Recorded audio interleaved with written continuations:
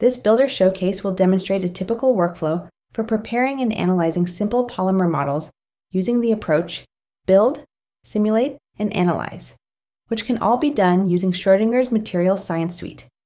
First, we'll build an amorphous cell from a polyethylene homopolymer. Second, we'll discuss equilibrating the cell with molecular dynamics.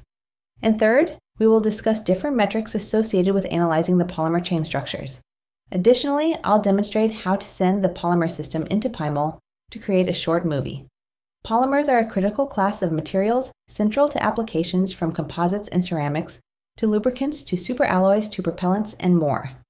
A polymer is a material which consists of repeating subunits known as monomers that have joined together in a polymerization process.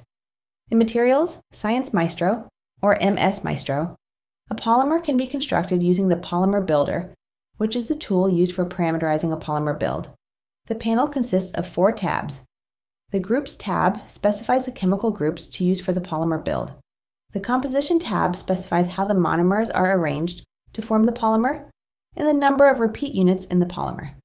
The Chain Growth tab specifies parameters for the growth of the polymer chain. The Amorphous Cell tab creates one or more cubic amorphous cells from each of the polymers that are being built. The size of the cell is determined from the number of polymer molecules and the final density, the periodic boundary condition properties are added to the structure when the cell is created. I'm going to generate a polyethylene amorphous cell. I'll start with defining the ethylene monomer. I'll set the number of monomers to 20, so the length of a single homopolymer chain will consist of 20 ethylene monomer units. Then I'll create an amorphous cell with 100 polymer chains. The Polymer Builder panel is set up. Let's go back to the workspace and view the system just built. The amorphous cell is shown in the project workspace. This system contains 100 polymer chains composed of 20 monomers in each chain.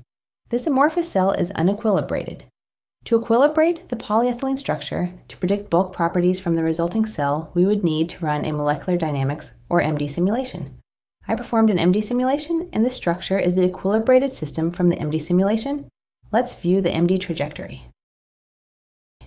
Polymer properties are significant in allowing us to understand material properties and design new polymeric materials.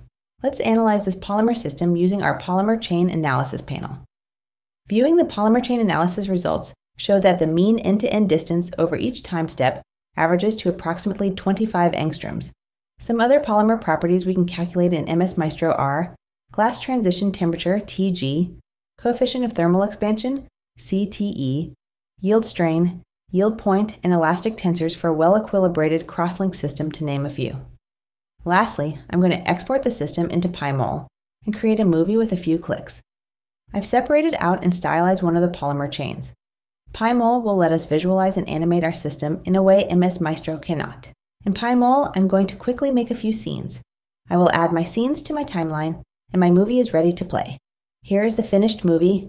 Enjoy!